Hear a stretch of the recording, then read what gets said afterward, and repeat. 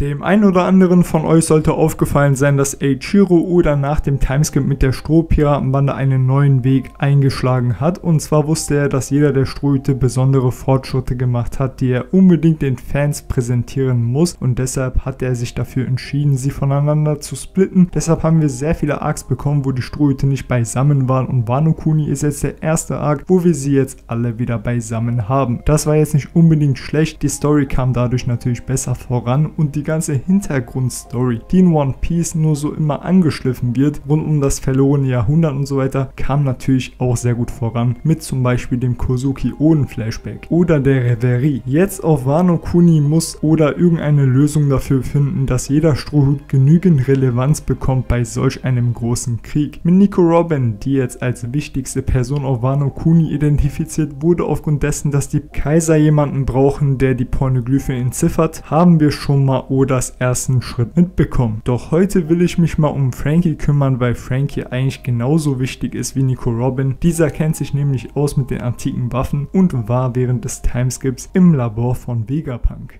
Wenn ihr solch ein Video auch für die restlichen Strohhüter haben wollt, dann lasst dem Video gerne einen Daumen nach oben da und abonniert den Kanal für mehr One Piece Content. Oder nutzt gerne das Stilmittel von Flashbacks bei den Strohhüten, um uns immer mal wieder zu überraschen. Er gibt zwar keinen Wert drauf, wer die Mutter eines Charakters ist, doch der Vater spielt bisher immer eine wichtige Rolle. Wir haben Beispiele wie Ruffy, Lysop und auch Sanji neuerdings, dessen Väter halt die Story geprägt haben in gewisser Weise. Frankie ist ein Charakter, dessen Eltern nicht bekannt sind. Wir haben erfahren, erfahren, es waren zwei Piraten, die ihn ausgesetzt haben im Meer und Tom hat ihn dann gerettet. Doch warum sollte man denn ein Kind im Meer aussetzen? Die einfachste Schlussfolgerung ist natürlich, dass man in Gefahr sein muss, um sein Kind ins Meer zu werfen. Auch wenn viele von euch überrascht davon waren, dass Sanji Teil der Windsmoke-Familie ist und ein Prinz des Germa-Königreichs, war das Ganze schon irgendwie abzusehen. Auf Alabasta wurde er Mr. Prince genannt, was schon ein kleines Foreshadowing darauf war, dass Sanji ein Prinz ist. Zudem hatten wir immer schon die Thematik mit dem Diablo Jumble, was natürlich nicht menschlich ist, also wurde zu diesem Thema nochmal zurückgegriffen und enthüllt, dass Sanji manipulierte Gene besitzt.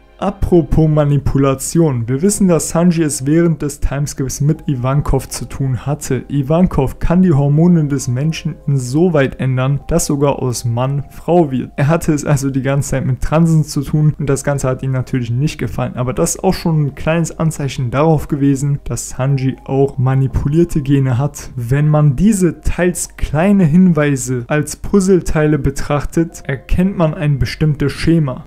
Frankie war schon von Kind an sehr besonders. Irgendwoher kam die Begabung, Waffen zu bauen. Obwohl er mit Tom und Co. zwar eigentlich nur Schiffe baute, hatte er irgendwie das Interesse daran, Waffen zu bauen. Wir haben hier in Wano Kuni Waffenfabriken, wir haben aber auch auf der Seite der Weltregierung den bekanntesten Wissenschaftler der One Piece Welt, und zwar Vegapunk, der auch für die Marine, aber auch für die Weltregierung Waffen baut. Unter anderem auch die Marineschiffe, die dank seiner Seesteintechnologie nicht von Seekönigen verschlungen werden. Auf dem Sabaudi-Archipel bekommen wir eines von Vegapunks neuesten Erfindungen zu Gesicht, die dann auch später in Marineford zum Einsatz kamen, und zwar die Pazifister, die die Laser von Kizaru abfeuern können. Bis zu dem Zeitpunkt etwas Unvorstellbares, eine Teufelsfruchtfähigkeit eingebaut in einen Cyborg. Sowas ähnliches sahen wir damals auch auf Alabasta, und zwar Lasso, die Waffe von Mr. Four. Es war eine Kombination aus Hund, Waffe und Teufelsfrucht.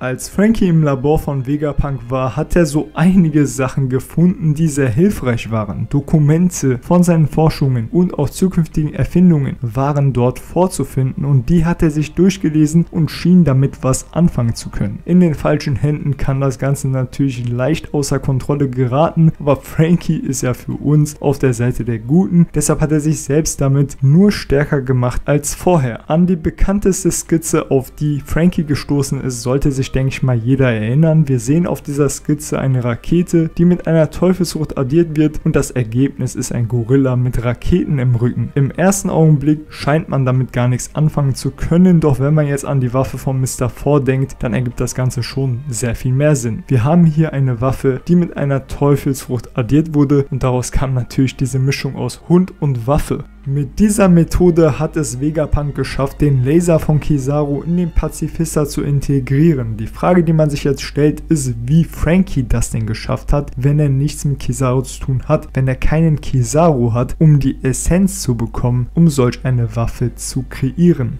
Nach dem Timeskip sehen wir, dass Frankie den Radical Beam einsetzen kann, einen Laser, der 1 zu 1 den Laser von Kizaru ähnelt. Das Ganze kann natürlich kein Zufall sein und auch wenn man den Fähigkeiten von Frankie vertraut, er kann nicht ohne die Essenz von Kizaru solch eine Fähigkeit kreieren. Diese Situation haben viele One Piece Fans unterschätzt. Selbst ich habe lange Zeit lang diesen Plothole gar nicht wahrgenommen. Vegapunk konnte nur den Laser in die Pazifista einbauen, weil er Kizaru Kizaru bei sich hatte. Lindbergh hat zum Beispiel eine Waffe, mit der er Leute gefrieren kann und das aus nur einem Grund. Höchstwahrscheinlich ist Kusam bei der Revolutionsarmee. Das ist eine Sache, die wir schon lange erwartet haben und auch kein Geheimnis mehr. Dahinter steckt auf jeden Fall was ganz Großes, denn Oda hat diese Hinweise nicht umsonst zurückgelassen. Bevor aber jetzt die ersten Theorien kommen, dass Frankie ein Verräter sei und mit Vegapunk und der Weltregierung zusammenarbeitet, kommen wir mal zu meiner Erläuterung. Am Anfang habe ich erwähnt gehabt, dass Frankies Eltern Frankie zurückgelassen haben und ich war sicher, dass das einen bestimmten Grund hatte. Und zwar wollten sie ihr Kind vor etwas beschützen. Frankie hat das Talent dazu gehabt, Waffen zu bauen und ich denke, da kommt er auf jeden Fall nach seinem Vater. Vegapunk wurde damals von der Weltregierung gejagt aufgrund dessen, dass er Fähigkeiten besaß, die ihnen sehr nützlich werden können. Da Vegapunk nicht wollte, dass sein Sohn auch hier mit reingezogen wird, warf er ihn mit seiner Frau ins Meer, um ihn vor seinem Schicksal zu bewahren. In diesem Fall wäre Vegapunk der Vater von Frankie.